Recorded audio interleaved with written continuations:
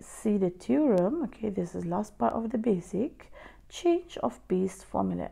So I think you have done this in school. Okay, for example, you have log base BU and you want to change to log base A. Okay, so first of all, just write log base A over log base A. And then in the numerator, you must take the argument. In denominator, you must take the base of the old log. Okay, so this is the formula log base AU divided by log base A B. However, you can also use ln if you want.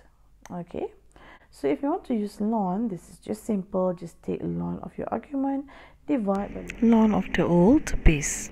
Now let's see example 8, okay, the final example in this subtopic.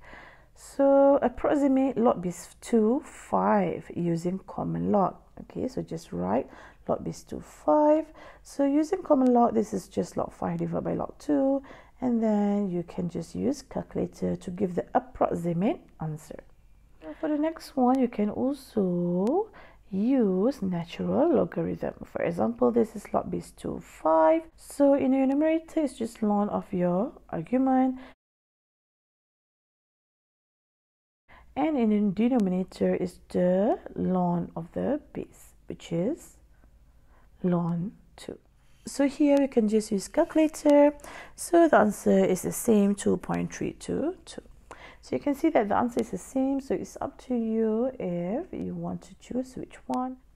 So that's the end of the basic rules of exponential and also log.